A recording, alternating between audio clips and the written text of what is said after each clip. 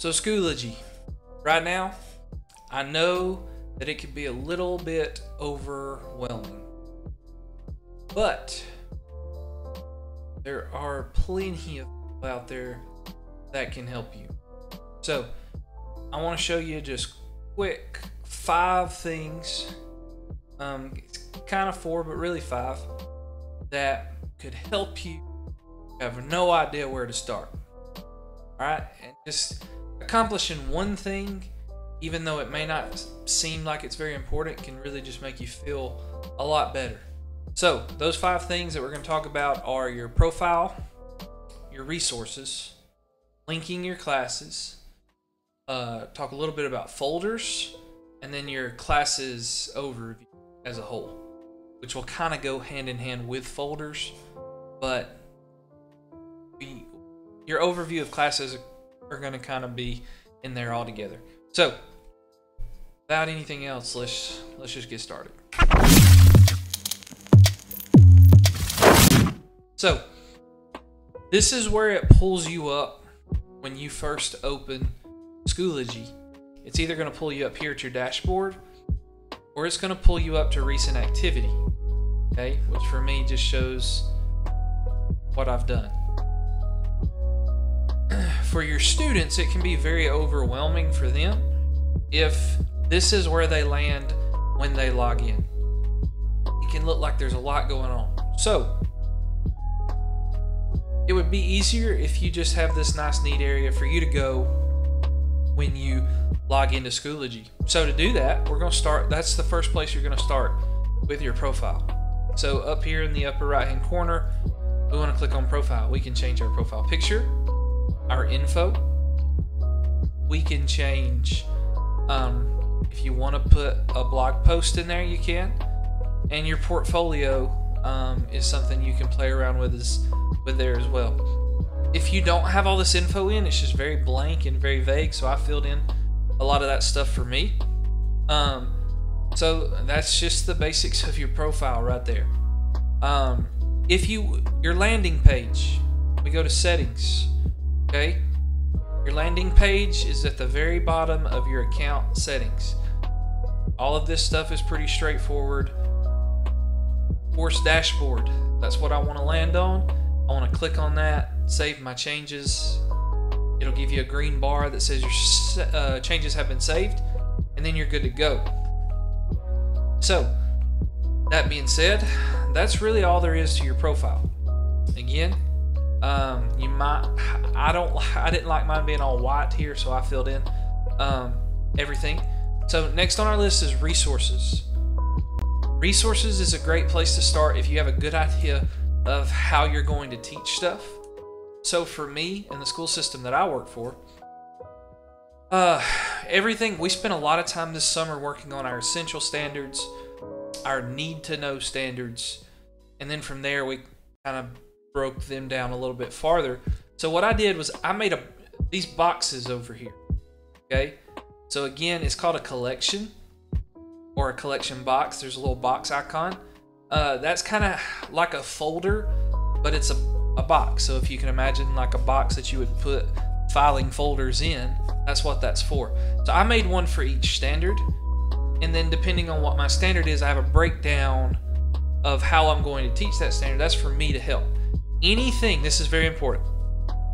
Anything that you put in resources, you will not have to redo when the school year changes. If you put it in a course, you'll have to redo it. So that's why I have all this here. So then I can just add it to my course. But you want to do everything in resources first and then move it to a course. That's why I put it number two for that reason. So, resources, that's where you're going to put all your content, organize it so that makes it easier for you to do it again next year. You can always edit it and change it, but for me, this is the way the way our school system's doing everything right now. This was the one that made the most sense to me was to prioritize it by my essential standards. Um, again, have it split up into different parts. Um, this orange folder is like my important to know standard.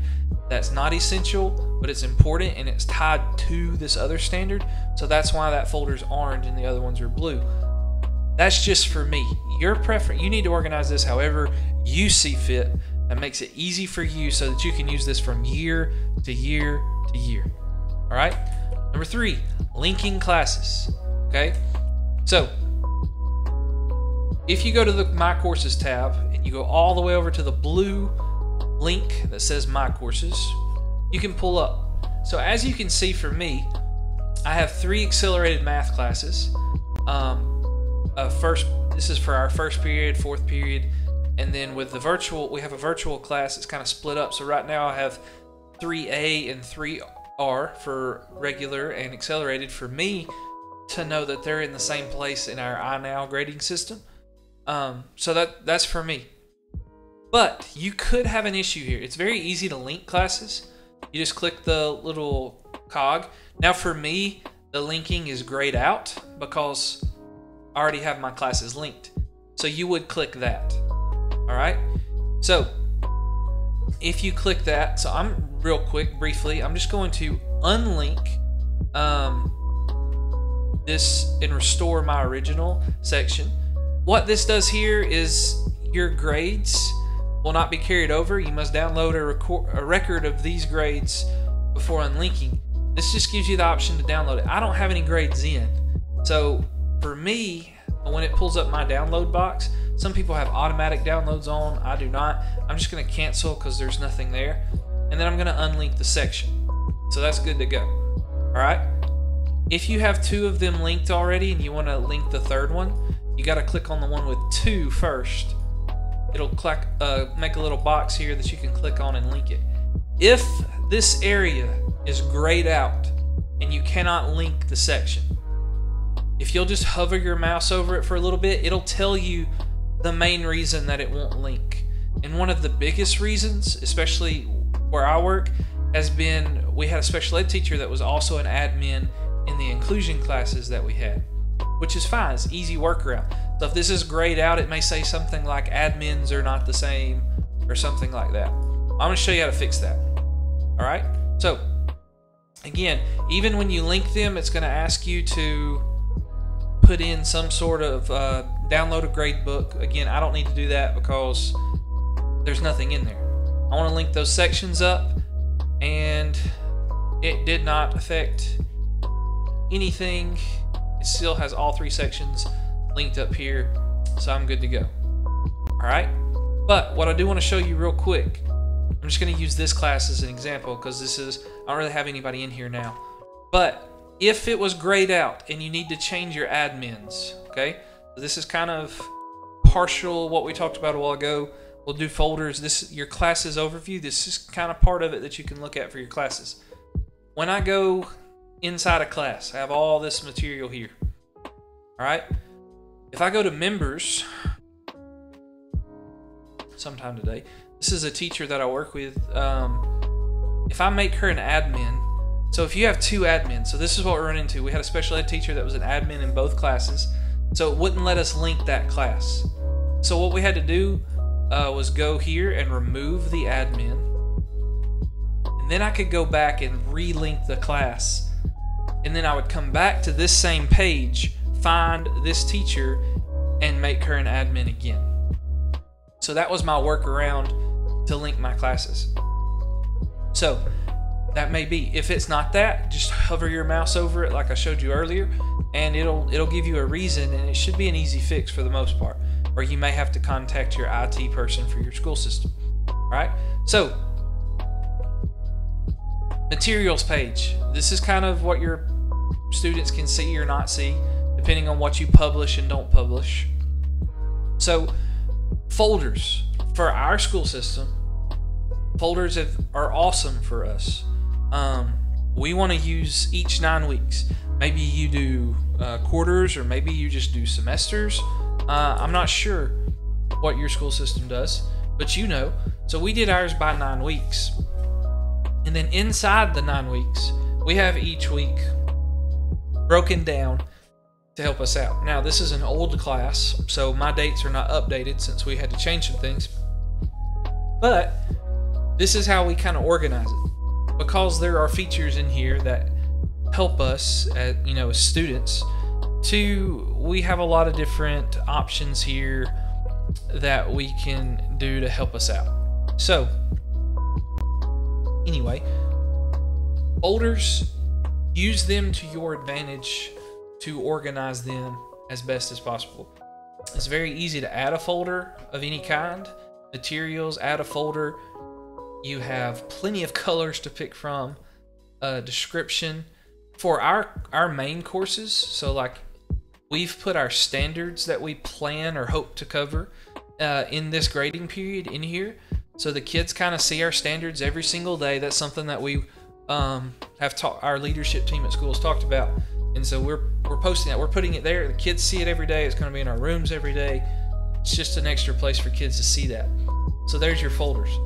There is a lot more this for you to get overwhelmed with. Um, but just again, classes overview, courses overview, your grade books here, um, the members is important.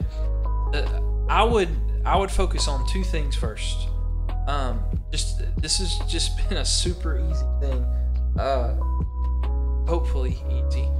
I realize that not everyone finds this as easy as others, but I would focus on your folders in your classes. Again, my our nine weeks dates are going to change, so that's why we went ahead and did this in the classes and not the resources. I didn't want to organize my resources by nine weeks because that may change. I may decide after this year I don't want that. And yeah, I could change it from nine weeks to nine weeks. That's fine.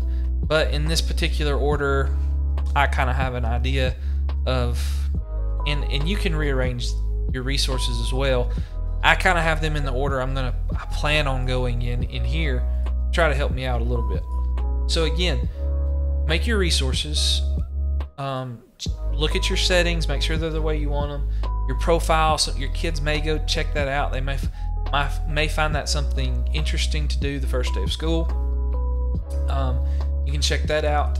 This is where a lot of people are putting their Bitmojis at the top. There's videos for that in the description if you want to look at that. Um, but again, it's just a very basic overview of your profile, your resources, linking your classes, folders, and just a little bit of what you can do with your members and your folders. Again, there's a lot more to this, but you need a place to start. And if you can just get some little something done, it will make you feel a lot better about the year. I know it did for me when I just I finally figured out something to do I could make my 9 weeks folders. Then I started making my resources. It just made me feel a lot lot better. Uh, just remember anything you put in a class, especially the classes that are made by your administration, like ours are, you're going to lose all that stuff at the end of the year. So make sure anything that you want to keep, you put in resources first and then put it in your class. If you have any questions, leave them in the comments. Um, send me an email, mrcoachmiller at gmail.com. Um, if you're from the school system, you can you can email me through there.